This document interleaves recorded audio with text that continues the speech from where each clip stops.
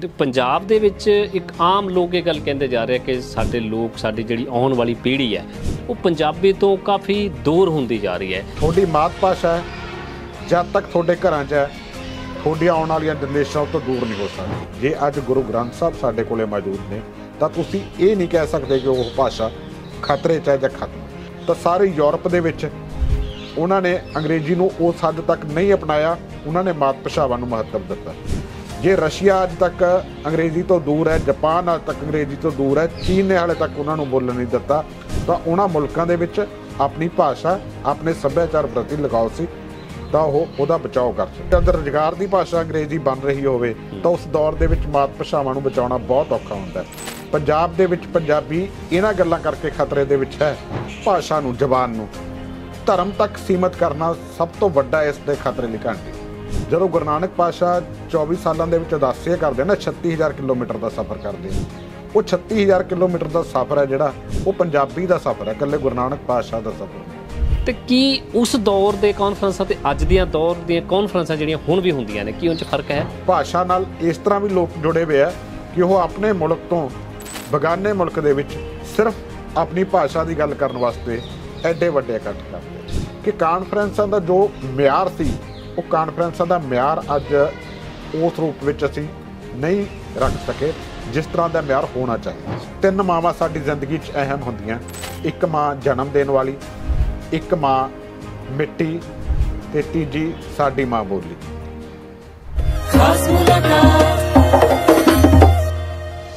ਸਤਿ ਸ਼੍ਰੀ ਅਕਾਲ ਤੁਸੀਂ ਦੇਖ ਰਹੇ ਹੋ ਚੜ੍ਹਦੀ ਕਲਾ ਟਾਈਮ ਟੀਵੀ। ਮੈਂ ਗੁਰਮੁਖ ਸਿੰਘ ਰੁਪਾਣਾ ਲੈ ਕੇ ਹਾਜ਼ਰ ਹਾਂ ਪ੍ਰੋਗਰਾਮ। ਇਸ ਪ੍ਰੋਗਰਾਮ ਦੇ ਵਿੱਚ ਅਸੀਂ ਕਿਸੇ ਨਾ ਕਿਸੇ ਮੁੱਦੇ ਨੂੰ ਲੈ ਕੇ ਕਿਸੇ ਵਿਸ਼ੇਸ਼ ਸ਼ਖਸੀਅਤ ਦੇ ਨਾਲ ਤੁਹਾਡੀ ਮੁਲਾਕਾਤ ਕਰਾਉਂਦੇ ਹਾਂ ਤੇ ਵੱਖ-ਵੱਖ ਵਿਸ਼ੇਸ਼ ਗੱਲਬਾਤ ਜਿਹੜੀ ਹੈਗੀ ਆ ਤੁਹਾਡੇ ਸਾਹਮਣੇ ਰੱਖਦੇ ਹਾਂ ਸੋ ਅੱਜ ਅਸੀਂ ਤੁਹਾਡੀ ਮੁਲਾਕਾਤ ਕਰਾ ਰਹੇ ਹਾਂ ਇੱਕ ਉਹ ਸ਼ਖਸੀਅਤ ਦੇ ਨਾਲ ਜਿਨ੍ਹਾਂ ਨੇ ਸਾਡੀ ਮਾਂ ਬੋਲੀ ਪੰਜਾਬੀ ਨੂੰ ਲੈ ਕੇ ਕਾਫੀ ਇਤਿਹਾਸ ਲਿਖਿਆ, ਇਕੱਠਾ ਕੀਤਾ, ਸੰਭਾਲ ਕੇ ਰੱਖਿਆ ਤੇ ਉਹਨਾਂ ਨੇ ਪੰਜਾਬੀ ਮਾਂ ਬੋਲੀ ਲਈ ਬਹੁਤ ਕੰਮ ਕੀਤਾ।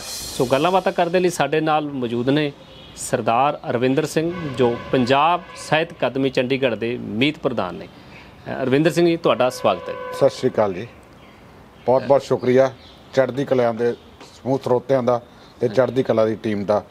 ਤੁਸੀਂ ਅੱਜ ਮੈਨੂੰ ਰੂਬਰੂ ਹੋਣ ਦਾ ਮੌਕਾ ਦਿੱਤਾ। ਥੈਂਕ ਯੂ ਅਰਵਿੰਦਰ ਸਿੰਘ ਜੀ ਤੁਸੀਂ ਪੰਜਾਬੀ ਨੂੰ ਲੈ ਕੇ ਬਹੁਤ ਕੰਮ ਕੀਤਾ ਹੈ।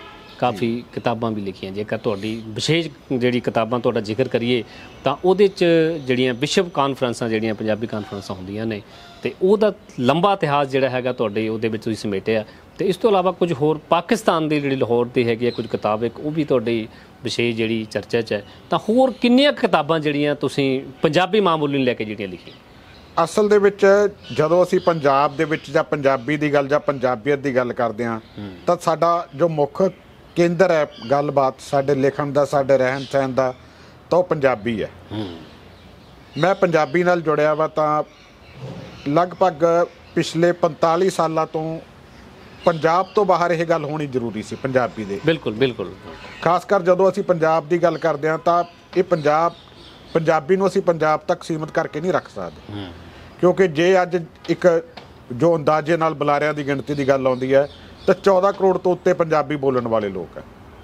ਜੇ ਅਸੀਂ 2 ਕਰੋੜ ਲੋਕਾਂ ਨੂੰ ਇਸ ਤੇ ਪੰਜਾਬ ਦੇ ਵਿੱਚ ਮੰਨਦੇ ਹਾਂ ਭਾਰਤ ਦੇ ਵਿੱਚ 1 ਕਰੋੜ 2 ਕਰੋੜ ਦੇ ਉੱਤੇ ਆਬਾਦੀ 1.5 ਕਰੋੜ ਆਬਾਦੀ ਜਿਹੜੀ ਬੋਲਦੀ ਹੈ ਤੇ ਭਾਰਤ ਤੋਂ ਬਾਹਰ ਵੱਖ-ਵੱਖ ਮੁਲਕਾਂ 'ਚ ਇੱਕ ਪੰਜਾਬ ਬੈਠਾ ਇੰਗਲੈਂਡ 'ਚ ਬੈਠਾ ਆਸਟ੍ਰੇਲੀਆ 'ਚ ਬੈਠਾ ਕੈਨੇਡਾ 'ਚ ਬੈਠਾ ਅੱਜ ਤਾਂ ਲਗਭਗ 150 ਮੁਲਕਾਂ ਤੱਕ ਪੰਜਾਬੀ ਫੈਲਿਆ ਹੋਇਆ। ਕਿਤੇ ਨਾ ਕਿਤੇ ਪੰਜਾਬੀ ਜਿੱਥੇ ਗਿਆ ਉਹ ਆਪਣੇ ਨਾਲ ਭਾਸ਼ਾ ਬੋਲੀ ਸਾਹਿਤ ਸੱਭਿਆਚਾਰ ਲੈ ਕੇ ਗਿਆ।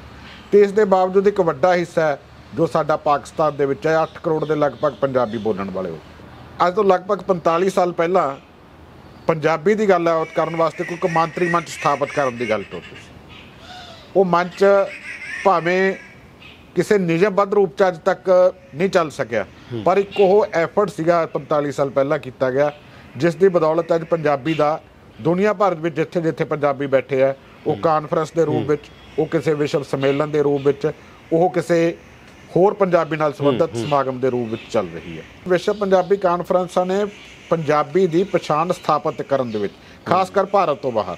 ਜੇ ਕੈਨੇਡਾ ਦੀ ਗੱਲ ਕਰੀਏ ਜੇ ਅਮਰੀਕਾ ਦੀ ਗੱਲ ਕਰੀਏ ਜੇ ਇੰਗਲੈਂਡ ਦੀ ਗੱਲ ਕਰੀਏ ਜਾਂ ਜਾਂ ਇਸ ਤੋਂ ਬਿਨਾ ਇਟਲੀ ਦੇ ਵਿੱਚ ਵੀ ਯੂਰਪ ਦੇ ਦੇਸ਼ਾਂ ਦੇ ਵਿੱਚ ਵੀ ਪੰਜਾਬੀ ਕਾਨਫਰੰਸਾਂ ਹੋਈਆਂ ਉਹਨਾਂ ਦੇ ਵਿੱਚ ਪੰਜਾਬੀ ਦੀ ਜੇ ਗੱਲ ਚੱਲਣ ਲੱਗੀ ਸੰਸਥਾਗਤ ਤੌਰ ਤੇ ਤਾਂ ਪੰਜਾਬੀ ਭਾਸ਼ਾ ਦੇ ਪ੍ਰਸਾਰ ਦੇ ਵਿੱਚ ਇਹਨਾਂ ਕਾਨਫਰੰਸਾਂ ਦਾ ਬਹੁਤ ਵੱਡਾ ਰੋਲ ਹੈ। ਮੈਂ ਰਪਾਣਾ ਜੀ, ਇੱਕ ਗੱਲ ਵਿਸ਼ੇਸ਼ ਤੌਰ ਤੇ ਇੱਥੇ ਕਰਨੀ ਚਾਹੂੰਗਾ। ਕਾਨਫਰੰਸਾਂ ਦੇ ਸੰਦਰਭ ਦੇ ਵਿੱਚ। ਸੰਸਾਰ ਦੇ ਵਿੱਚ ਜਦੋਂ ਭਾਸ਼ਾਵਾਂ ਦੀ ਗੱਲ ਚੱਲਦੀ ਹੈ, ਤਾਂ ਭਾਸ਼ਾ ਦੇ ਨਾਂ ਤੇ ਆਪਣੇ ਮੁਲਕ ਤੋਂ ਬਾਹਰ ਬਹੁਤ ਪਰ ਮੈਂ ਮੈਂ ਅਰਵਿੰਦਰ ਤੁਹਾਡੇ ਕੋਲ ਜਿਹੜੀ ਪੰਜਾਬੀ ਵਿਸ਼ਵ ਕਾਨਫਰੰਸਾਂ ਦੀ ਗੱਲਬਾਤ ਮੈਂ ਤੁਹਾਨੂੰ ਇਸ ਤੇ ਬਾਅਦ ਚਾਹਾਂਗਾ। ਸਭ ਤੋਂ ਪਹਿਲਾਂ ਜਿਹੜੀ, ਜੇ ਪੰਜਾਬ ਦੀ ਗੱਲ ਕਰੀਏ, ਤੇ ਪੰਜਾਬ ਦੇ ਵਿੱਚ ਇੱਕ ਆਮ ਲੋਕ ਇਹ ਗੱਲ ਕਹਿੰਦੇ ਜਾ ਰਹੇ ਕਿ ਸਾਡੇ ਲੋਕ, ਸਾਡੀ ਜਿਹੜੀ ਆਉਣ ਵਾਲੀ ਪੀੜ੍ਹੀ ਹੈ ਉਹ ਪੰਜਾਬੀ ਤੋਂ ਕਾਫੀ ਦੂਰ ਹੁੰਦੀ ਜਾ ਰਹੀ ਹੈ, ਜਿਹੜੇ ਕਨਵੈਂਟ ਸਕੂਲ ਨੇ, ਉਹਦੇ 'ਚ ਤਾਂ ਖਾਸ ਕਰਕੇ ਜਿਹੜੇ ਹੋਰ ਆਮ ਜਿਹੜੇ ਇੰਗਲਿਸ਼ ਮੀਡੀਅਮ ਸਕੂਲ ਨੇ, ਉਹਨਾਂ ਦੀ ਤਾਦਾਦ ਵੱਧਦੀ ਜਾ ਰਹੀ ਹੈ। ਔਰ ਜਿਹੜੀ ਸਾਡੀ ਆਉਣ ਵਾਲੀ ਪੀੜ੍ਹੀ ਆ, ਛੋਟੇ ਬੱਚੇ ਨੇ, ਤਾਂ ਉਹਨਾਂ ਨੂੰ ਉੱਥੇ ਪੰਜਾਬੀ ਬੋਲਣ ਤੱਕ ਨਹੀਂ ਦਿੱਤਾ ਜਾ ਰਿਹਾ। ਔਰ ਜਦੋਂ ਬੱਚੇ ਘਰ ਆਉਂਦੇ ਨੇ, ਤਾਂ ਉਹ ਪੰਜਾਬੀ ਬੋਲਣ ਲਈ ਤਿਆਰ ਨਹੀਂ, ਉਹਨਾਂ ਨੂੰ ਸਮਝ ਨਹੀਂ ਆਉਂਦੀ ਕਿ ਊੜਾੜਾ ਹੈ ਕੀ ਹੈ।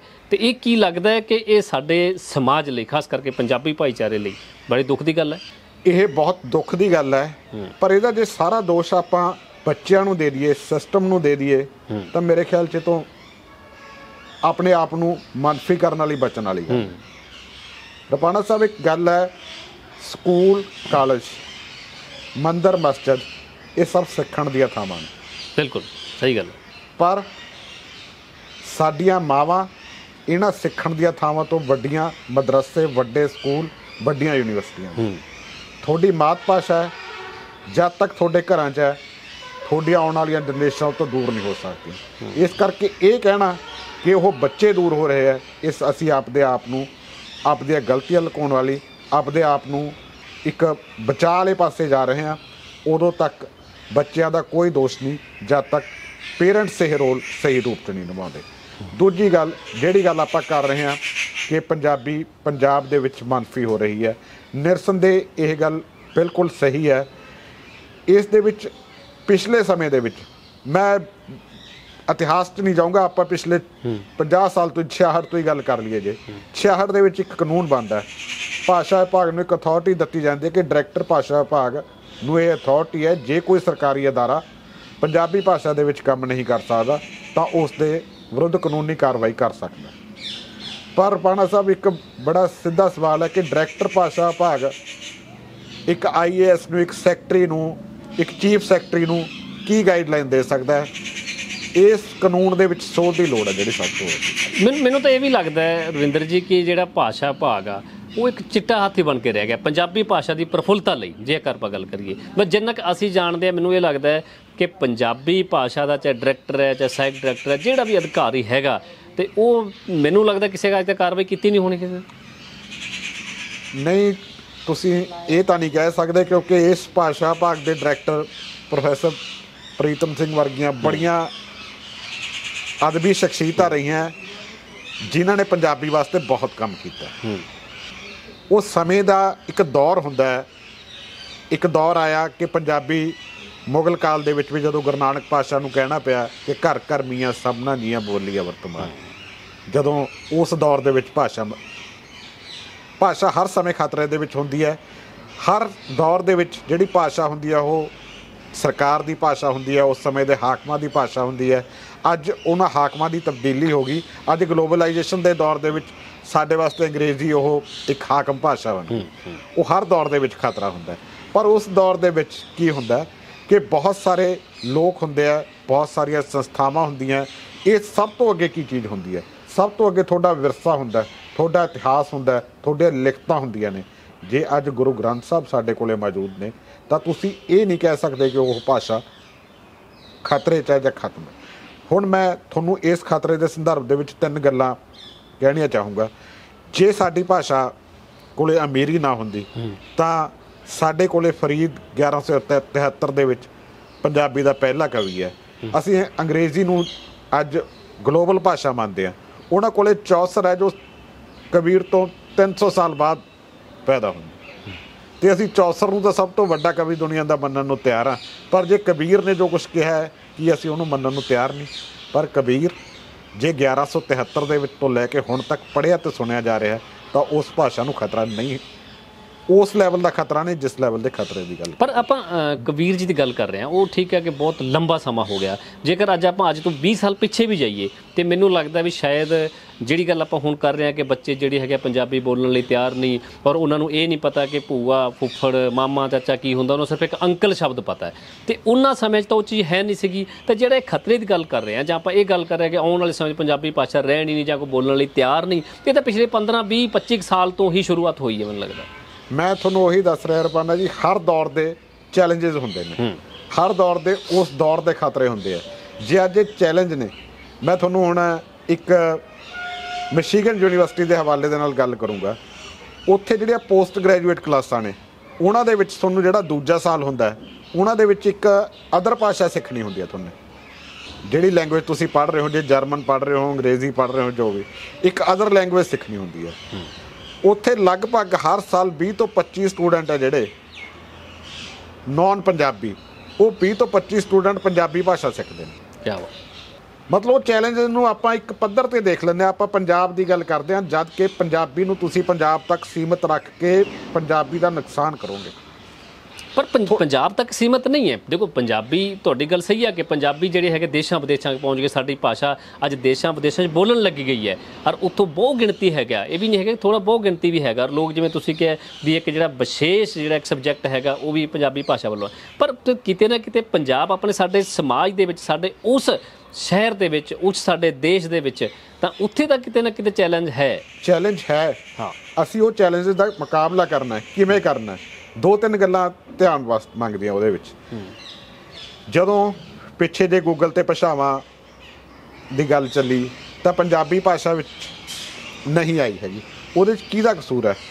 ਅਸੀਂ ਅਕਸਰ ਸਰਕਾਰਾਂ ਤੱਕ ਸੀਮਤ ਹੋ ਕੇ ਰਹਿ ਜਾਂਦੇ ਜੇ ਅਸੀਂ ਇਸ ਦੌਰ ਦੇ ਵਿੱਚ ਜੋ ਸਾਡਾ ਲਿਟਰੇਚਰ ਹੈ, ਅਸੀਂ ਉਸ ਨੂੰ ਕੰਪਿਊਟਰਾਈਜ਼ਡ ਨਹੀਂ ਕਰਦੇ, ਤਾਂ ਉਹਦੇ ਵਿੱਚ ਕਿਤੇ ਨਾ ਕਿਤੇ ਅਸੀਂ ਦੋਸ਼ੀ ਹੂੰ। ਪਿਛਲੇ ਸਮੇਂ ਦੇ ਵਿੱਚ ਪਾਤਰ ਸਾਹਿਬ ਅੱਜ ਦੁਨੀਆ 'ਚ ਨਹੀਂ ਹੈ ਪਰ ਜਦੋਂ ਇਹ ਸਮੱਸਿਆ ਸਾਹਮਣੇ ਆਈ ਤਾਂ ਪੰਜਾਬ ਕਲਾ ਅਦਾਰਾ ਪੰਜਾਬ ਕਲਾ ਪ੍ਰੀਸ਼ਦ ਵੱਲੋਂ ਪੰਜਾਬ ਦੇ ਬੁੱਧੀਜੀਵੀਆਂ ਦੀ ਇੱਕ ਇਕੱਤਰਤਾ ਕੀਤੀ ਗਈ। ਉਹਦੇ 'ਚ ਇਹੀ ਸਵਾਲ ਉੱਠਿਆ ਜੋ ਸਵਾਲ ਤੁਸੀਂ ਅੱਜ ਮੈਨੂੰ ਕਰ ਰਹੇ ਹੋ। ਕੀਤਾ ਕੀ ਜਾਣਾ ਚਾਹੀਦਾ? ਉਸੇ ਸਮੇਂ ਕੀ ਯਤਨ ਸ਼ੁਰੂ ਕੀਤਾ ਗਿਆ? Punjabipedia department Punjabi university Patiala ਭਾਸ਼ਾ ਭਾਗ ਪੰਜਾਬ ਆਰਟਸ ਕਾਉਂਸਲ ਪੰਜਾਬ ਸਾਹਿਤ ਅਕੈਡਮੀ ਕੇਂਦਰੀ ਪੰਜਾਬੀ ਲੇਖਕ ਸਭਾ। ਇਹਨਾਂ ਸਾਰਿਆਂ ਨੇ ਇੱਕ ਤਹੀਆ ਕੀਤਾ ਕਿ ਅਸੀਂ ਆਪੋ ਆਪਣੀਆਂ ਲਿਖਤਾਂ ਜਿਹੜੀਆਂ ਉਹ ਗੂਗਲ ਤੇ ਅਪਲੋਡ ਕਰਨੀਆਂ ਅਸੀਂ ਆਪਣਾ ਹੀ ਹੋਂਦ ਦਿਖਾਉਣੀ ਹੈ ਉੱਥੇ। ਜਦੋਂ ਤੁਸੀਂ ਇੱਕ ਉੱਥੇ ਸਬਸਕ੍ਰਾਈਬਰ ਤੁਹਾਡੇ ਲਿਮਟ ਹੈ ਜੋ ਉੱਥੇ ਤੱਕ ਪਹੁੰਚ ਜਾਂਦੇ ਹੋ ਤਾਂ ਉਹ ਤੁਹਾਡੀ ਲੈਂਗੁਏਜ ਨੂੰ ਹੈ ਜਿਹੜੀ ਉਹ ਗੂਗਲ ਮਾਨਤਾ ਦੇ ਦਿੰਦੀ ਹੈ।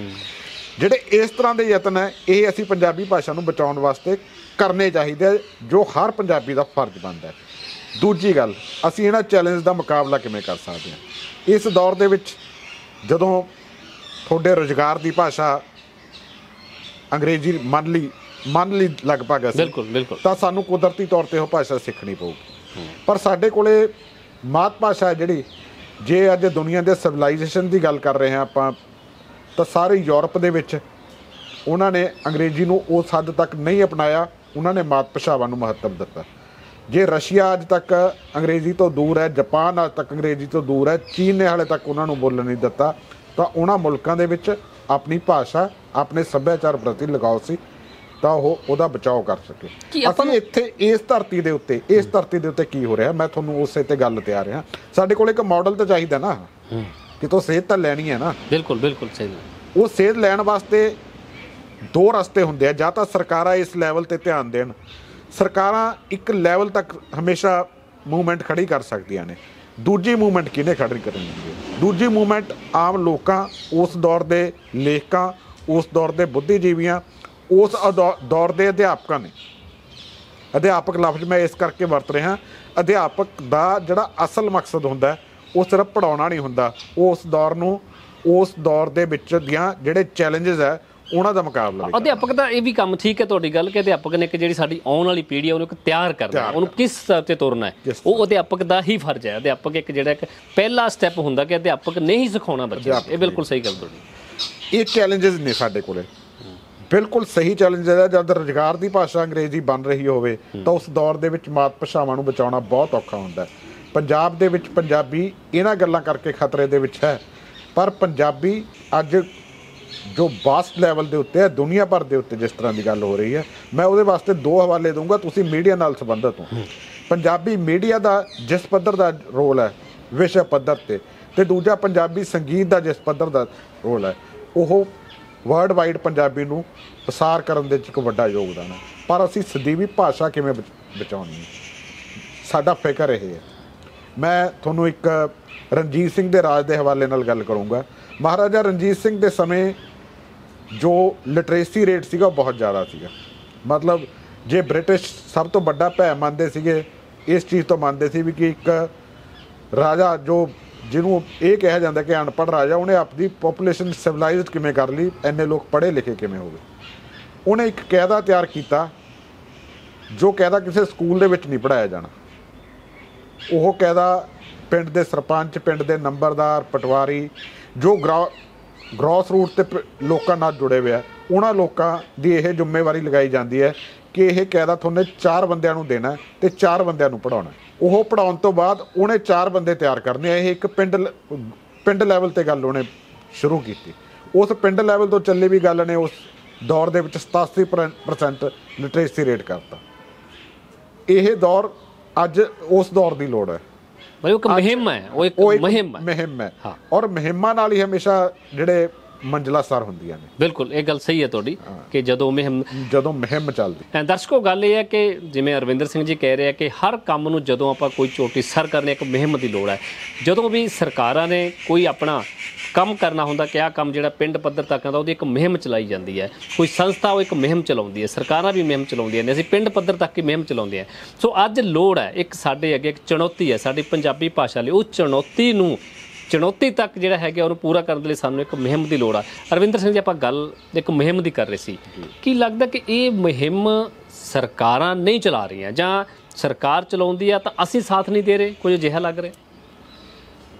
ਮੁਹਿੰਮ ਕਦੇ ਵੀ ਸਰਕਾਰਾਂ ਨਹੀਂ ਚਲਾ ਸਕਦੀਆਂ ਹੁੰਦੀਆਂ। ਮੁਹਿੰਮ ਚਲਾਉਣ ਵਾਸਤੇ ਮੂਵਮੈਂਟ ਬਣਨੀ ਪੈਂਦੀ ਹੈ। ਜੇ ਜੇ ਪੰਜਾਬੀ ਭਾਸ਼ਾ ਖਤਰੇ 'ਚ ਹੈ ਤਾਂ ਇਹਦੇ ਬਾਰੇ ਖਤਰਾ ਕਿਹਨਾਂ ਲੋਕਾਂ ਨੂੰ ਹੈ? ਪੰਜਾਬੀਆਂ ਨੂੰ ਹੈ ਨਾ। ਇੱਕ ਚੀਜ਼ ਮੈਂ ਰਪਾਨਾ ਜੀ ਕਹਿਣੀ ਚਾਹੂੰਗਾ ਇਸ ਭਾਸ਼ਾ ਨੂੰ ਜ਼ਬਾਨ ਨੂੰ ਧਰਮ ਤੱਕ ਸੀਮਤ ਕਰਨਾ ਸਭ ਤੋਂ ਵੱਡਾ ਇਸ ਦੇ ਖਤਰੇ ਲਈ ਘੰਟੀ। ਬਹੁਤ ਸਾਰੇ ਲੋਕ ਹੈ ਜਦੋਂ ਆਪਾਂ ਪੰਜਾਬੀ ਭਾਸ਼ਾ ਦੇ ਪ੍ਰਸਾਰ ਦੀ ਗੱਲ ਕਰਦੇ ਆ ਨਾ ਪੰਜਾਬ ਦੇ ਵਿੱਚ ਉਸ ਤਰ੍ਹਾਂ ਦੀ ਮੂਵਮੈਂਟ ਭਾਵੇਂ ਅਸੀਂ ਲੋਕ ਨਹੀਂ ਬਣਾ ਸਕੇ ਪਰ ਜਿਹੜੇ ਪੰਜਾਬੀ ਨੂੰ ਪਿਆਰ ਕਰਨ ਵਾਲੇ ਆ ਜੇ ਸਿੰਧੀ ਲੋਕ ਪੰਜਾਬੀ ਗੁਰੂ ਨਾਨਕ ਪਾਤਸ਼ਾਹ ਨੂੰ ਮੰਨਦੇ ਆ ਅਸਲ ਦੇ ਵਿੱਚ ਸਾਡੀ ਜ਼ਬਾਨ ਜਦੋਂ ਗੁਰੂ ਨਾਨਕ ਪਾਤਸ਼ਾਹ 24 ਸਾਲਾਂ ਦੇ ਵਿੱਚ ਉਦਾਸੀਆਂ ਕਰਦੇ ਆ ਨਾ 36000 ਕਿਲੋਮੀਟਰ ਦਾ ਸਫ਼ਰ ਕਰਦੇ ਆ। ਉਹ 36000 ਕਿਲੋਮੀਟਰ ਦਾ ਸਫ਼ਰ ਹੈ ਜਿਹੜਾ, ਉਹ ਪੰਜਾਬੀ ਦਾ ਸਫ਼ਰ ਹੈ, ਇਕੱਲੇ ਗੁਰੂ ਨਾਨਕ ਪਾਤਸ਼ਾਹ ਦਾ ਸਫ਼ਰ ਨਹੀਂ। ਗੱਲ ਪੰਜਾਬ ਤੋਂ ਬਾਹਰ ਚਲੀ ਜਾਂਦੀ ਹੈ, ਮੈਂ ਮਾਫੀ ਚਾਹਣਾ ਪਰ ਇਹ ਹਵਾਲਾ ਦੇਣਾ ਜ਼ਰੂਰੀ ਹੈ। ਅਫਗਾਨਿਸਤਾਨ ਦੇ ਵਿੱਚ ਇੱਕ ਐਮਪੀ ਰਹੇ ਆ, ਵੈਸੇ ਉਹ ਡੈਂਟਿਸਟ ਨੇ, ਅਨਾਰਕਲੀ ਸ਼ਾਹਰਜਾਰ ਕੌਰ 2004 ਦੇ ਵਿੱਚ ਪੰਜਾਬੀ ਯੂਨੀਵਰਸਿਟੀ ਦੇ ਵਿੱਚ ਇੱਕ ਕਾਨਫਰੰਸ ਹੁੰਦੀ ਹੈ ਏਸ਼ੀਅਨ ਕੰਟਰੀਜ਼ ਦੀ, ਉਹਦੇ ਚ ਅਨਾਰਕਲੀ ਸ਼ਾਹਰਜਾਰ ਕੌਰ ਆਉਂਦੇ ਆ। ਅਨਾਰਕਲੀ ਸ਼ਾਹਰ ਕੌਰ ਕਿਵੇਂ ਪੰਜਾਬੀ ਹੈ? ਜਦੋਂ ਗੁਰੂ ਨਾਨਕ ਪਾਤਸ਼ਾਹ ਦਾਸੀਆਂ ਤੇ ਜਾਂਦੇ ਆ ਤਾਂ ਉਹ ਉਸ ਪਿੰਡ ਦੇ ਵਿੱਚ ਰੁਕਦੇ ਆ ਤੇ ਉਸ ਘਰ ਦੇ ਵਿੱਚ ਪ੍ਰਸ਼ਾਦਾ ਛਕਦੇ ਨੇ ਤੇ ਮੇਰੇ ਖਿਆਲ ਦੇ ਵਿੱਚ ਜ਼ਿਆਦਾ ਨਹੀਂ ਤਾਂ 10ਵੀਂ ਜਾਂ 12ਵੀਂ ਪੁਸਤ ਹੋਣੀ ਚਾਹੀਦੀ ਆ ਉਹ। ਇਸ ਤੋਂ ਵੀ ਜ਼ਿਆਦਾ ਹੋਣੀ ਚਾਹੀਦੀ ਹੈ ਨਾਰਕਲੀ ਸ਼ਾਹਰ ਜੋਕਰ ਉਹ ਅੱਜ ਤੱਕ ਪੰਜਾਬੀ ਬੋਲਦੀ ਹੈ ਤੇ ਆਪਦੇ ਨਾਮ ਦੇ ਨਾਲ ਉਹ ਕੌਰ ਸ਼ਬਦ ਵਰਤਦੀ ਹੈ। ਪੰਜਾਬੀ ਇਸ ਤਰ੍ਹਾਂ ਜਿਉਂਦੀ ਹੈ। ਫਿਰ ਪਣਪਦੀ ਕਿਵੇਂ ਹੈ ਪੰਜਾਬੀ? ਅਨਾਰਕਲੀ ਸ਼ਹਿਰ ਜਾਰਕਰ ਜਦੋਂ ਇੱਥੇ ਆਉਂਦੀ ਹੈ, ਇੱਥੋਂ ਵਾਪਸ ਪਰਤਣ ਤੋਂ ਬਾਅਦ ਜੋ ਉਹਦਾ ਰਿਐਕਸ਼ਨ ਸੀ, ਉਸ ਸਮੇਂ ਦੇ ਪੰਜਾਬੀ ਟ੍ਰਿਬਿਊਨ ਦੇ ਵਿੱਚ ਇਹ ਹੈਡਲਾਈਨ ਲੱਗਦੀ ਹੈ ਕਿ ਅਨਾਰਕਲੀ ਸ਼ਹਿਰ ਜਾਰਕਰ ਉੱਥੇ ਜਾ ਕੇ ਕਹਿੰਦੀ ਹੈ ਕਿ ਪੰਜਾਬੀ ਸਿਰਫ ਪੰਜਾਬ ਤੱਕ ਨਹੀਂ ਹੈ। ਮੈਂ ਜੋ ਜਿਹੜੇ ਲੋਕ ਇਸ ਤੋਂ ਇੱਥੇ ਪੰਜਾਬੀ ਰਹਿੰਦੇ ਆ, ਮੈਂ ਪੰਜਾਬੀ ਸਿਖਾਉਣ ਵਾਸਤੇ ਉਹਨਾਂ ਨੂੰ ਜੋ ਯਤਨ ਕਰ ਸਕਦੀ ਹਾਂ ਉਹ ਯਤਨ ਸ਼ੁਰੂ ਕਰੂੰਗੀ ਔਰ ਉੱਥੇ ਜਾ ਕੇ ਉਹ ਯਤਨ ਸ਼ੁਰੂ ਕਰਦੀ ਹੈ। ਇਸੇ ਤਰ੍ਹਾਂ ਵਿਦੇਸ਼ਾਂ 'ਚ ਜਿੰਨੇ ਵੀ ਗੁਰੂ ਘਰ ਹੋਏ ਜਾਂ ਬਹੁਤ ਸਾਰੀਆਂ ਹੋਰ ਸੰਸਥਾਵਾਂ ਨੇ, ਉਹ ਪੰਜਾਬੀ ਪੜਾਉਣ ਵਾਸਤੇ ਯਤਨ ਕਰਦੀਆਂ ਨੇ। ਜਦ ਅਸੀਂ ਪੰਜਾਬ ਤੇ ਆ ਕੇ ਗੱਲ ਕਰਦੇ ਆ ਨਾ ਪੰਜਾਬੀ ਦੀ, ਫਿਰ ਸਾਨੂੰ ਬਹੁਤ ਤਰ੍ਹਾਂ ਦੇ ਖਤਰੇ ਲੱਗਦੇ ਆ। ਉਹ ਖਤਰੇ ਕਿਉਂ ਲੱਗਦੇ ਨੇ? ਕੀ ਕਾਰਨ ਨੇ? ਜਦੋਂ ਸਾਡੀ ਰੁਜ਼ਗਾਰ ਦੀ ਭਾਸ਼ਾ ਅੰਗਰੇਜ਼ੀ ਹੈ, ਸਾਡੀ ਸਰਕਾਰ ਦੀ ਭਾਸ਼ਾ ਅੰਗਰੇਜ਼ੀ ਹੈ ਸਾਡੇ ਸਟੈਂਡਰਡ ਦੀ ਭਾਸ਼ਾ ਅੰਗਰੇਜ਼ੀ ਹੋ ਗਈ ਹੋਵੇ ਤਾਂ ਉਦੋਂ ਇੱਕ ਸਮਾਜ ਦਾ ਵਰਗ ਹੁੰਦਾ ਸਮਾਜ ਹਮੇਸ਼ਾ ਕਦੇ ਵੀ ਵਰਗ ਨੂੰ ਤੁਸੀਂ ਵਰਗ ਰਹਿਤ ਸਮਾਜ ਦੀ ਸਿਰਜਣਾ ਦੀ ਗੱਲ ਕਰਦੇ ਆ ਆਪਾਂ ਪਰ ਉਹ ਵਰਗ ਰਹਿਤ ਸਮਾਜ ਦੇ ਵਿੱਚ ਵੀ ਇੱਕ ਅਪਰ ਕਲਾਸ ਹੈ ਇੱਕ ਮਿਡਲ ਕਲਾਸ ਹੈ ਇੱਕ ਲੋਅਰ ਮਿਡਲ ਕਲਾਸ ਹੈ। ਉਹ ਕਲਾਸਿਸ ਦੇ ਵਿੱਚ ਇੱਕ ਕੰਪਲੈਕਸ ਬਣਿਆ ਹੋਇਆ ਹੈ ਕਿ ਜੇ ਬੰਦਾ ਇਹ ਭਾਸ਼ਾ ਬੋਲਦਾ ਹੈ ਤਾਂ ਉਹ ਇੱਕ ਵਧੀਆ ਵਰਗ ਨੂੰ ਬਿਲੋਂਗ ਕਰਦਾ। ਇਹ ਸਾਡਾ ਜਿਹੜਾ ਕੰਪਲੈਕਸ ਹੈ ਨਾ ਇਹ ਸਾਨੂੰ ਸਭ ਤੋਂ ਵੱਡਾ ਖਤਰਾ ਹੈ ਸਾਡੀ ਭਾਸ਼ਾ ਵਾਸਤੇ। ਮਤਲਬ ਆਪਣਾ ਇੱਕ ਸਟੇਟਸ ਸਿੰਬਲ ਬਣ ਗਿਆ ਵੀ ਜੇ ਵੀ ਜੇ ਅੰਗਰੇਜ਼ੀ ਨਹੀਂ ਬੋਲਦਾ ਤਾਂ ਉਹ ਕਹਿੰਦਾ ਸਟੇਟਸ ਇਹਦਾ ਯਾਰ ਠੀਕ ਨਹੀਂ। ਆਪਾਂ ਇਹ ਕਹਿੰਦੇ। ਕਿਹਾ ਸੀ ਨਾ ਮਰ ਰਹੀ ਹੈ ਮੇਰੀ ਭਾਸ਼ਾ ਸ਼ਬਦ ਸ਼ਬਦ ਅਰਥ ਅਰਥ। ਹੂੰ। ਉਹ ਇਹੀ ਹੈ ਨਾ ਠੀਕ ਹੈ ਅਰਵਿੰਦਰ ਜੀ ਆਪਾਂ ਤੁਸੀਂ ਦੇਸ਼ਾਂ ਵਿਦੇਸ਼ਾਂ ਦੀ ਗੱਲ ਕੀਤੀ ਹੈ ਤੁਸੀਂ ਇੱਕ ਕਿਤਾਬ ਲਿਖੀ ਹੈ ਜਿਹੜਾ ਸਮੁੱਚਾ ਜਿਹੜਾ ਪੰਜਾਬੀ ਵਰਲਡ ਕਾਨਫਰੰਸਾਂ ਪੰਜਾਬੀ ਕਾਨਫਰੰਸਾਂ ਹੁੰਦੀਆਂ ਨੇ ਉਹਨੂੰ ਇੱਕ ਕਿਤਾਬ 'ਚ ਸਮੇਟਿਆ ਬਹੁਤ ਸੋਹਣੇ ਸ਼ਬਦਾਂ ਦੇ ਵਿੱਚ ਇਹਨੂੰ ਸਮੇਟਿਆ ਸੋ ਮੈਂ ਉਹਦੀ ਗੱਲ ਕਰਾਂਗਾ ਕਿ ਜਿਹੜੀਆਂ ਪੰਜਾਬੀ ਵਿਸ਼ਵ ਕਾਨਫਰੰਸਾਂ ਇੱਕ ਪਹਿਲਾ ਦੌਰ ਜਦੋਂ ਸ਼ੁਰੂਆਤ ਹੋਈ, ਤੁਸੀਂ ਸ਼ੁਰੂਆਤ ਕੀਤੀ, ਤੁਸੀਂ ਉਸ ਦਾ ਇੱਕ ਹਿੱਸਾ ਸੀ ਸ਼ੁਰੂਆਤ ਦਾ। ਇੱਕ ਉਹ ਅੱਜ ਦਾ ਦੌਰ। ਤੇ ਕੀ ਉਸ ਦੌਰ ਦੇ ਕਾਨਫਰੰਸਾਂ ਤੇ ਅੱਜ ਦੀਆਂ ਦੌਰ ਦੀਆਂ ਕਾਨਫਰੰਸਾਂ ਜਿਹੜੀਆਂ ਹੁਣ ਵੀ ਹੁੰਦੀਆਂ ਨੇ, ਕੀ ਉਹਨਾਂ 'ਚ ਫ਼ਰਕ ਹੈ? ਬਿਲਕੁਲ ਫ਼ਰਕ ਹੈ। ਮੈਂ ਪਿਛਲੇ ਲਗਭਗ 10 12 ਸਾਲਾਂ ਤੋਂ ਜਿਹੜੀਆਂ ਸਿੱਧੇ ਰੂਪ ਭਾਰਤ ਤੋਂ ਬਾਹਰ ਵਾਲੇ ਕਾਨਫਰੰਸਾਂ ਨਾਲ ਜੁੜਿਆ, ਮੈਂ ਤੁਹਾਨੂੰ ਤਿੰਨ ਹਵਾਲਿਆਂ ਦੇ ਨਾਲ ਗੱਲ ਕਰੂੰਗਾ ਮੈਂ 1980 1997 ਤੇ 2016 ਦੇ ਨਾਲ। ਇਹਦੇ 'ਚ ਆਪਣਾ ਲਗਭਗ ਸਾਰਾ ਕਵਰ ਹੋ ਜਾਊਗਾ। ਜਦੋਂ 1980 ਦੇ ਵਿੱਚ ਇਹ ਕਾਨਫਰੰਸ ਹੁੰਦੀ ਹੈ ਉਸ ਦੌਰ ਦੇ ਵਿੱਚ ਨਾ ਟੈਲੀਫੋਨ ਇੰਨਾ ਐਕਟਿਵ ਹੈ ਨਾ ਸੋਸ਼ਲ ਮੀਡੀਆ ਨਾ WhatsApp ਹੈ ਨਾ ਕੁਝ ਤਾਂ। ਉਸ ਦੌਰ ਦੇ ਵਿੱਚ ਕਿਸੇ ਬੰਦੇ ਦਾ ਐਡਾ ਬੜਾ ਪ੍ਰੋਜੈਕਟ ਛੇੜਨਾ ਪੰਜਾਬੀ ਭਾਸ਼ਾ ਵਾਸਤੇ ਕਿ ਮੈਂ ਇੰਗਲੈਂਡ ਦੇ ਵਿੱਚ ਦੁਨੀਆ ਭਰ ਤੋਂ ਪੰਜਾਬੀ ਬੰਦੇ ਬੁਲਾਉਣੇ ਆ ਤਾਂ ਇਹ ਆਪਦੇ ਆਪ 'ਚ ਇੱਕ ਬਹੁਤ ਵੱਡਾ ਚੈਲੰਜ ਸੀ। ਬਿਲਕੁਲ। ਜਦੋਂ ਤੁਸੀਂ ਸਿਰਫ ਚਿੱਠੀ ਪੱਤਰ ਨਾਲ ਹੀ ਬੰਦੇ ਨਾਲ ਰਾਬਤਾ ਕਰ ਸਕਦੇ। ਉਸ ਵਕਤ 65 ਤੋਂ 70 ਦੇ ਕਰੀਬ ਉਹ ਸ਼ਖਸੀਅਤਾਂ ਜਾਂਦੀਆਂ ਨੇ। ਮੈਂ ਕੁਛ ਨਾਂ ਲਊਂਗਾ Dalip Kaur Tiwana Sant Singh Sekhon doctor M S Randhawa Jaswant Singh Kanwal Vishwanath Tiwari ਵਰਗੇ ਜਿਹੜੇ ਉੱਚ ਕੋਟੀ ਦੇ ਵਿਦਵਾਨ ਹਨ। ਪ੍ਰੋਫੈਸਰ ਹਰਭਜਨ ਸਿੰਘ ਜਿਨ੍ਹਾਂ ਦਾ ਨਾਮ ਵਿਦਵਾਨਾਂ ਦੀ ਸੂਚੀ ਪਹਿਲੇ ਆਧਾਰ ਤੇ ਜਿਹੜੇ ਕਰੀਮ ਵਿਦਵਾਨਾਂ ਦੇ ਕਰੀਮ ਹੈ ਕਰੀਮ ਅੱਜ ਹਾਂ। ਜਿਨ੍ਹਾਂ ਦਾ ਬਦਲ ਅੱਜ ਵੀ ਸਾਡੇ ਕੋਲੇ ਹੈ। ਬਿਲਕੁਲ ਬਿਲਕੁਲ ਕਰੀਮ। ਉਸ ਵਕਤ ਹੋ ਜਾਂਦੇ ਨੇ। ਉਸ ਵਕਤ ਜੇ ਐਡਾ ਯਤਨ ਹੋਇਆ ਤਾਂ ਉਹ ਇੰਗਲੈਂਡ ਦੇ ਵਿੱਚ ਇੱਕ ਚੈਲੰਜ ਸੀਗਾ ਕਿ ਕੋਈ ਭਾਸ਼ਾ ਨਾਲ ਇਸ ਤਰ੍ਹਾਂ ਵੀ ਲੋਕ ਜੁੜੇ ਹੋਏ ਆ ਕਿ ਉਹ ਆਪਣੇ ਮੁਲਕ ਤੋਂ ਬਗਾਨੇ ਮੁਲਕ ਦੇ ਵਿੱਚ ਸਿਰਫ ਆਪਣੀ ਭਾਸ਼ਾ ਦੀ ਗੱਲ ਕਰਨ ਵਾਸਤੇ ਐਡੇ ਵੱਡੇ ਇਕੱਠ ਕਰਦੇ। ਹੂੰ। ਤੇ ਫਿਰ ਇਹ ਚੈਲੰਜ ਕਿਵੇਂ ਵੱਡਾ ਹੁੰਦਾ? ਹੈ 1983 ਦੇ ਵਿੱਚ ਬੈਂਕਾਕ ਦੇ ਵਿੱਚ ਨਾਮਧਾਰੀ ਸੰਪਰਦਾਇਕ ਕਾਨਫਰੰਸ ਕਰਾਉਂਦੀ ਹੈ ਜਿਹਦੇ ਚ 200 ਤੋਂ ਵੱਧ ਡੈਲੀਗੇਟ ਕੱਲਾ ਪੰਜਾਬ ਭਾਰਤ ਤੋਂ ਜਾਂਦਾ। ਬਾਕੀ ਦੁਨੀਆ ਤੋਂ ਆਉਂਦੇ ਨੇ। ਜਿਹੜਾ ਇਸ ਤੋਂ ਅਗਲਾ ਯਤਨ ਹੈ ਉਹ ਮੈਂ ਪੰਜਾਬੀਆਂ ਦੀ ਗੱਲ ਨਹੀਂ ਕਰ ਰਿਹਾ। ਮੈਂ ਇਕੱਲੇ ਕਿਸੇ ਇੱਕ ਕੌਮ ਖਿੱਤੇ ਭਾਸ਼ਾ ਦੀ ਗੱਲ ਨਹੀਂ ਕਰ ਰਿਹਾ। ਮੈਂ ਦੁਨੀਆ ਦੇ 7000 ਭਾਸ਼ਾਵਾਂ ਚ ਇਸ ਭਾਸ਼ਾ ਨੇ ਕਿਵੇਂ ਆਪਦੀ ਜਿਹੜੀ ਪਹਿਚਾਣ ਬਣਾਈ ਹੈ। ਪਹਿਚਾਣ ਬਣਾਈ ਹੈ। ਅਮਰੀਕਾ ਦੇ ਵਿੱਚ ਪਹਿਲੀ ਵਾਰੀ ਸਰਦਾਰ ਦਰਸ਼ਨ ਸਿੰਘ ਢਾਲੀਵਾਲ ਕੋਈ ਬੰਦਾ ਵਿਅਕਤੀਗਤ ਤੌਰ ਤੇ ਕਾਨਫਰੰਸ ਕਰਾਵੇ ਔਰ 200 ਤੋਂ 250 ਡੈਲੀਗੇਟ ਦੁਨੀਆ ਦੇ ਵੱਖ-ਵੱਖ ਕੋਨਿਆਂ 'ਚ ਆਵੇ। ਕਦੇ ਭਾਰਤ ਤੋਂ ਬਾਹਰ ਕਿਸੇ ਭਾਸ਼ਾ ਦੇ ਨਾਂ ਤੇ ਅਮਰੀਕਾ ਦੇ ਵਿੱਚ ਚੇਅਰ ਸਥਾਪਿਤ ਨਹੀਂ ਸੀ ਹੋਈ। 1997 ਦੇ ਵਿੱਚ ਸੂਬੇਦਾਰ ਕਰਤਾਰ ਸਿੰਘ ਢਾਲੀਵਾਲ ਚੇਅਰ ਵਿਸਕੌਸ ਵਿਸਕੌਨਸਨ ਯੂਨੀਵਰਸਿਟੀ ਦੇ ਵਿੱਚ ਸਥਾਪਿਤ ਹੁੰਦੀ ਹੈ। ਇਹ ਪੰਜਾਬੀ ਭਾਸ਼ਾ ਦੀ ਉਸ ਟਾਈਮ ਇੱਕ ਪਛਾਣ ਬਣੀ ਕਿ ਇਹ ਲੋਕ ਆਪਣੀ ਭਾਸ਼ਾ ਆਪਣੇ ਸਾਹਿਤ ਆਪਣੇ ਸੱਭਿਆਚਾਰ ਨਾਲ ਇਸ ਕਦਰ ਵੀ ਜੁੜੇ ਹੋਏ ਆ। 1997 ਦੇ ਵਿੱਚ ਵਿਸਕੌਨਸਨ ਯੂਨੀਵਰਸਿਟੀ ਨੂੰ 10 ਲੱਖ ਡਾਲਰ ਐਡਵਾਂਸ ਦੇ ਵਿੱਚ ਜਮ੍ਹਾਂ ਕਰਾ ਕੇ ਇਸ ਚੇਅਰ ਦੇ ਖਰਚਿਆਂ ਵਾਸਤੇ ਅਲੱਗ ਤੋਂ 5 ਲੱਖ ਡਾਲਰ ਦੇ ਕੇ ਇਹ ਚੇਅਰ ਉਸ ਕਾਨਫਰੰਸ ਦੇ ਵਿੱਚ ਸਥਾਪਿਤ ਹੁੰਦੀ ਹੈ। ਇਹ ਪੰਜਾਬੀ ਇਹ ਕਾਨਫਰੰਸ ਧਾਰੀਵਾਲ ਪਰਿਵਾਰ ਨੇ ਹੀ ਤਾਲੀਵਾਲ ਪਰਿਵਾਰ ਨੇ ਇੱਕ ਪਰਿਵਾਰ। ਵੱਲੋਂ ਇਹ ਯਤਨ ਕੀਤਾ ਗਿਆ। ਫਿਰ ਇੱਕ ਅਜਿਹਾ ਇਹ ਯਤਨ 2016 ਦੇ ਵਿੱਚ ਮੈਂ ਸਿਰਫ ਉਹ ਯਤਨ ਦੱਸ ਰਿਹਾ। ਜੋ ਵਿਅਕਤੀਗਤ ਤੌਰ ਤੇ ਕੀਤੇ ਗਏ। ਚਰਨਜੀਤ ਸਿੰਘ ਬਾਠ ਇੱਕ ਕਿਸਾਨ ਹੈ। ਉਹ ਕਿਸਾਨ ਹੈ ਜਿਹਨੇ 60 ਸਾਲ ਕਿਸਾਨੀ ਤੋਂ ਬਿਨਾ ਹੋਰ ਕੁਝ ਨਹੀਂ ਕੀਤਾ ਅਮਰੀਕਾ ਦੇ ਵਿੱਚ। ਜਦੋਂ ਦੁਨੀਆ 'ਚ ਆਪਾਂ ਚਰਨਜੀਤ ਸਿੰਘ ਬਾਠ ਇੱਕ ਕਿਸਾਨ ਦੀ ਗੱਲ ਕਰਦੇ ਹਾਂ ਜੇ ਦੁਨੀਆ 'ਚ ਕਿਤੇ ਗੱਲ ਹੁੰਦੀ ਹੈ ਤਾਂ ਸੌਗੀ ਕਿੰਗ ਦੇ ਨਾਮ ਨਾਲ ਜਾਣਿਆ ਜਾਂਦਾ ਹੈ। ਉਸ ਵਿਅਕਤੀ ਨੇ ਪੰਜਾਬੀ ਭਾਸ਼ਾ ਵਾਸਤੇ ਇੱਕ ਕਾਨਫਰੰਸ ਕਰਾਈ ਔਰ ਸਾਰਾ ਖਰਚ ਇੱਕ ਵਿਅਕਤੀ ਵੱਲੋਂ ਆਪਣੀ ਜੇਬ ਚੋਂ ਕੀਤਾ ਗਿਆ। ਉਸ ਕਾਨਫਰੰਸ ਤੇ ਲੱਖਾਂ ਡਾਲਰ ਵਾਂਗੂ ਖਰਚ ਹੋਣਾ। ਇਸ ਕਾਨਫਰੰਸ ਦੀ ਕੀ ਪ੍ਰਾਪਤੀ ਹੈ? ਉਸ ਮੁਲਕ ਦੇ ਵਿੱਚ Punjabi history and culture of Punjab Punjabi ਵਾਸਤੇ ਉਹ ਇੱਕ ਯਤਨ ਕਰਦੇ ਆ ਕਿ ਇਹ ਸਬਜੈਕਟ ਹੋਣਾ ਚਾਹੀਦਾ। ਸਾਡੇ ਲੋਕਾਂ ਦੀ ਪਛਾਣ ਕੀ ਹੈ? ਸਾਡਾ ਕਲਚਰ ਕੀ ਹੈ?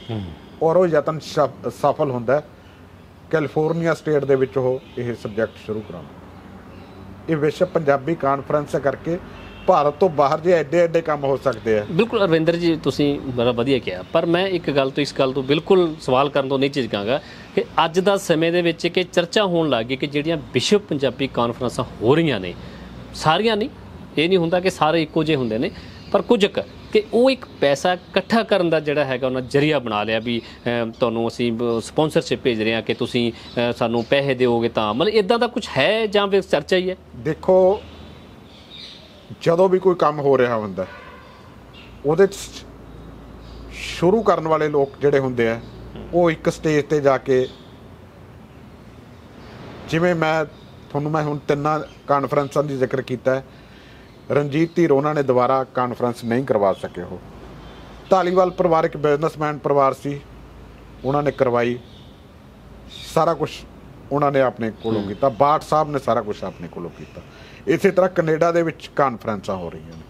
ਪਰ ਇੱਕ ਜਿਹੜਾ ਤੁਹਾਡਾ ਸਵਾਲ ਹੈ, ਮੈਨੂੰ ਲੱਗਦਾ ਇਹ ਸਵਾਲ ਕਾਫੀ ਹੱਦ ਤੱਕ ਸਹੀ ਹੋ ਸਕਦਾ ਕਿਉਂਕਿ ਜਿਸ ਦੌਰ ਦੇ ਵਿੱਚ ਪੂਰੇ ਸਹਿਰਦ ਲੋਕ ਹੁੰਦੇ ਨੇ, ਉਸ ਦੌਰ ਦੇ ਵਿੱਚ ਕੁਝ ਲੋਕ ਆਰਟੀਫੀਸ਼ੀਅਲ ਵੀ ਹੁੰਦੇ ਆ, ਜਿਨ੍ਹਾਂ ਦਾ ਮਕਸਦ ਉਹ ਸਹਿਰਦਤਾ ਨਹੀਂ ਹੁੰਦੀ ਉਸ ਪ੍ਰਤੀ।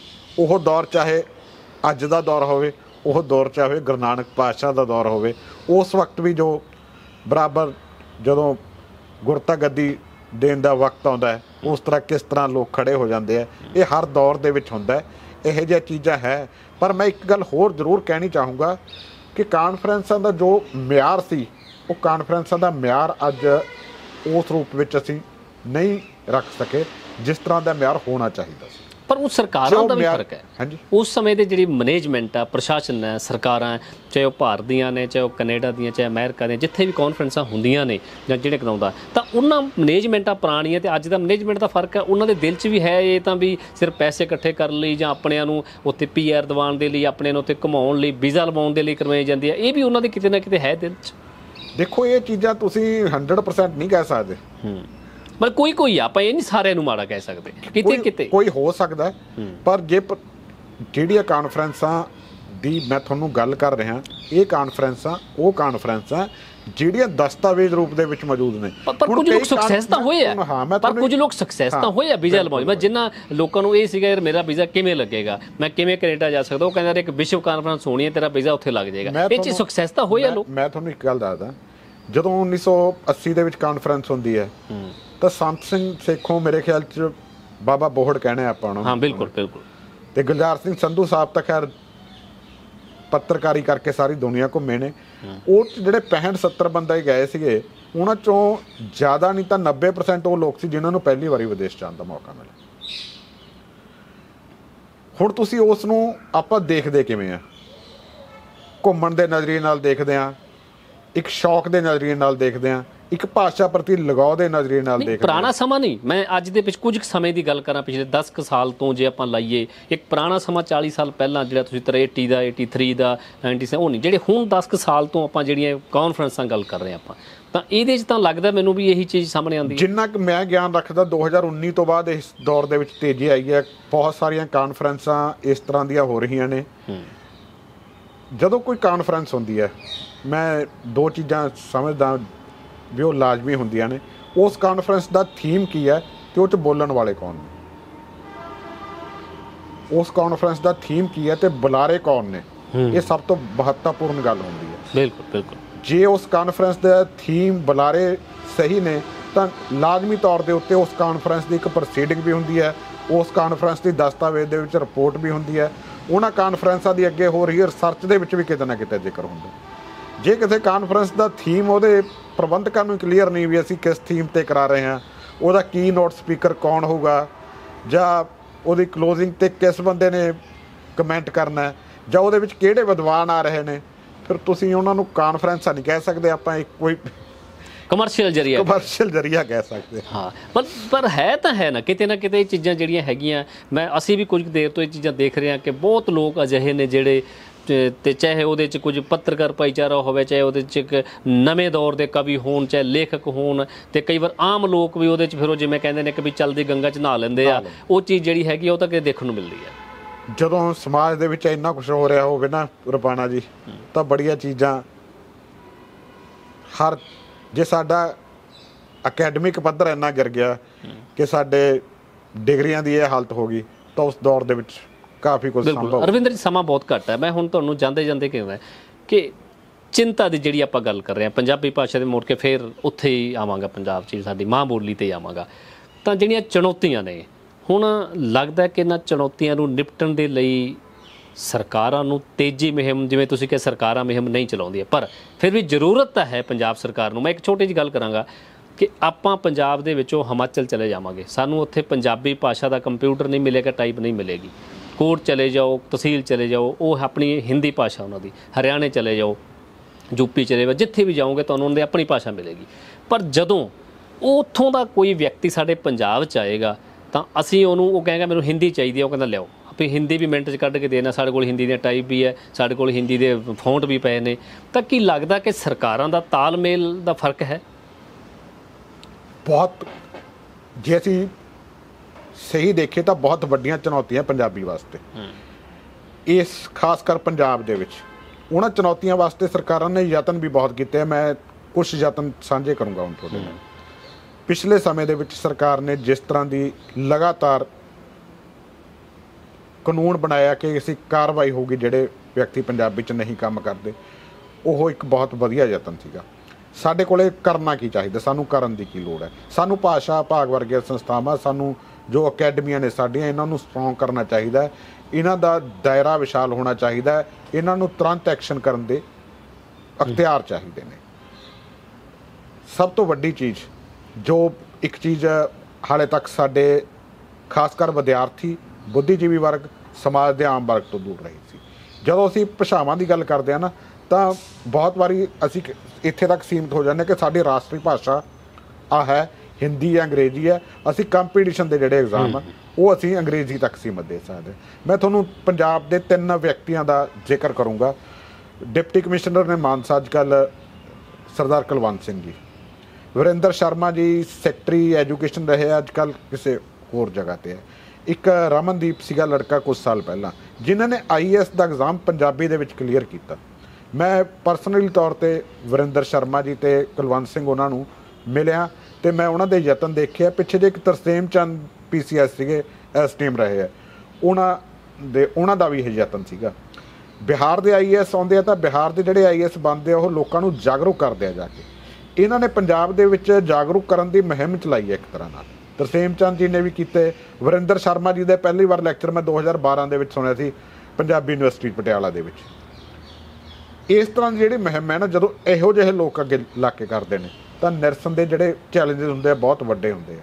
ਸਾਡੇ ਕੋਲੇ ਮੈਂ ਟੀਚਿੰਗ ਨਾਲ ਜੁੜਿਆ ਹਾਂ ਸਾਡੇ ਕੋਲੇ ਬਹੁਤ ਸਾਰੇ ਸਟੂਡੈਂਟਸ ਨੂੰ ਜਦੋਂ ਪਤਾ ਲੱਗਦਾ ਹੈ ਕਿ ਅਸੀਂ ਡਿਪਟੀ ਕਮਿਸ਼ਨਰ ਜਾਂ ਐਸਐਸਪੀ ਜਾਂ ਜੋ ਆਈਐਸ ਆਈਪੀਐਸ ਲਾਈਟ ਸਰਵਿਸਿਜ਼ ਹੈ, ਅਸੀਂ ਪੰਜਾਬੀ ਚ ਐਗਜ਼ਾਮ ਦੇ ਕੇ ਬਣ ਸਕਦੇ ਹਾਂ, ਤਾਂ ਉਹਨਾਂ ਦੇ ਵਿੱਚ ਇੱਕ ਇੰਟਰਸਟ ਪੈਦਾ ਹੁੰਦਾ ਤੇ ਉਹ ਤਿਆਰੀ ਸ਼ੁਰੂ ਕਰਦੇ ਨੇ। ਜਦ ਤੱਕ ਇੰਸਟੀਟਿਊਸ਼ਨ ਇਸ ਲੈਵਲ ਤੇ ਯਤਨ ਕਰ, ਨਹੀਂ ਕਰਦੇ ਹੈਗੇ, ਉਦੋਂ ਤੱਕ ਕੋਈ ਮੁਹਿੰਮ, ਕੋਈ ਸਰਕਾਰ ਕੁਝ ਨਹੀਂ ਕਰ ਸਕਦੀ। ਇੰਸਟੀਟਿਊਸ਼ਨਲ ਲੈਵਲ ਤੇ ਮੁਹਿੰਮ ਚੱਲੀ ਹੈ।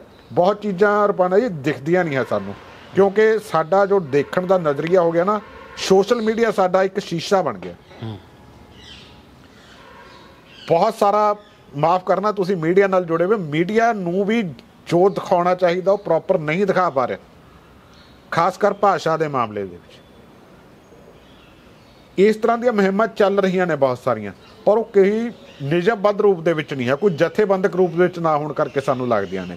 ਨਿਰਸਨ ਦੇ ਵੱਡੇ ਚੈਲੰਜਸ ਦਾ। ਪਰ ਇਹਨਾਂ ਚੈਲੰਜਸ ਦੇ ਵਿੱਚ ਜਿਹੜੇ ਲੋਕ ਯਤਨ ਕਰ ਰਹੇ ਨੇ ਮੈਨੂੰ ਲੱਗਦਾ ਹੁੰਦਾ ਯਤਨ ਕਰਨ ਵਾਲੇ ਲੋਕ ਵੱਡੇ ਹੁੰਦੇ ਆ ਚੈਲੰਜ ਦੇ ਤੇ ਉਹ ਮੰਜ਼ਲ ਪਾ ਵੀ ਲੈਂਦੇ ਠੀਕ ਹੈ ਰਵਿੰਦਰ ਜੀ। ਚਲੋ ਤਾਂ ਮੰਜ਼ਲੇ ਹੀ ਮੰਜ਼ਲੇ ਹੈ ਰੁਕੋ ਤਾਂ ਰਾਸਤਾ ਨਹੀਂ ਮਿਲਤਾ ਬਿਲਕੁਲ। ਇਹੀ ਸਾਡੀ ਚਾਹੇ ਭਾਸ਼ਾ ਹੋਵੇ ਚਾਹੇ ਸਾਡੀ ਜ਼ਿੰਦਗੀ ਹੋਵੇ।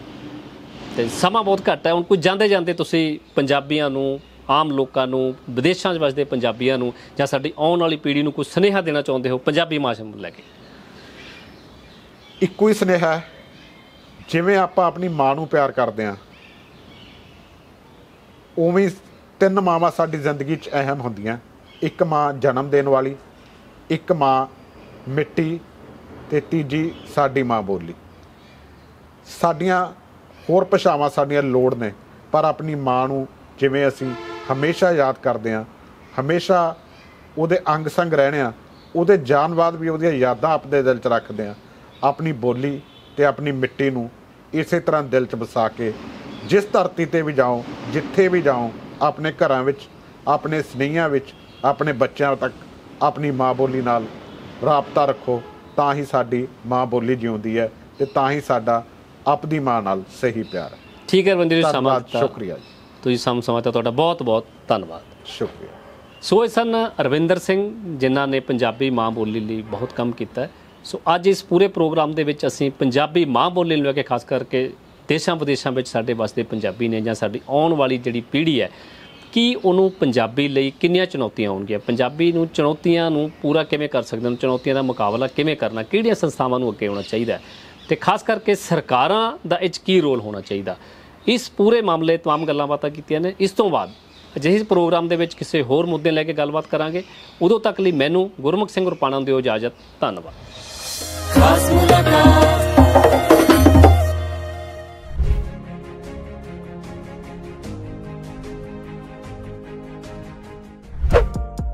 ਸਬਸਕ੍ਰਾਈਬ ਕਰੋ ਚੜ੍ਹਦੀ ਕਲਾ ਟਾਈਮ ਟੀਵੀ ਨੂੰ ਅਤੇ ਲੇਟੈਸਟ ਅਪਡੇਟ ਪਾਉਣ ਦੇ ਲਈ ਪ੍ਰੈਸ ਕਰੋ ਬੈਲ ਆਈਕਨ ਨੂੰ ਗੁਰਬਾਣੀ ਨਿਊਜ਼ 뮤직 ਐਂਟਰਟੇਨਮੈਂਟ ਸ਼ੋਅ ਜਾਂ ਕਿਸੇ ਤਰ੍ਹਾਂ ਦਾ ਕੋਈ ਵੀ ਕੰਟੈਂਟ ਵੇਖਣ ਦੇ ਲਈ ਪਲੇ ਸਟੋਰ ਤੋਂ ਹੁਣੇ ਡਾਊਨਲੋਡ ਕਰੋ Chardi Kala media network app Scan QR code to contact us. Rodis Inc. Million Miles with Smile or scan QR code to contact us. Flying Bird Truck Repair, trust we build in truck repair or scan QR code to contact us. The Masala Twist, Oxnard Fine Authentic Indian Cuisine or scan QR code to contact us. Pizza Twist, Taste with Twist, order today, call or visit website or scan QR code to contact us. New India Market or scan QR code to contact us.